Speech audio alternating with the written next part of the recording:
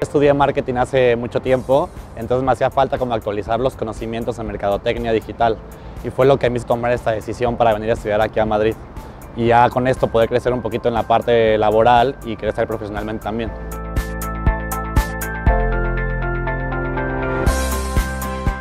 Mi paso por, la, por las prácticas ha sido súper importante para poder como consolidar la, la formación que estoy teniendo.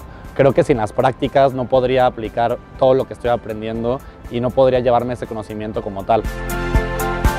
En un futuro me veo aquí en Madrid trabajando, la verdad me encantaría quedarme y quedarme donde estoy haciendo las prácticas.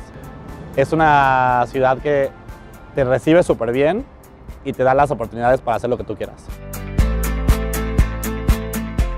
Lo recomiendo 100%. Estudiar en un máster en Madrid y en EUDE creo que te ayuda a crecer profesionalmente, personalmente y te da un impulso a, a tu carrera laboral.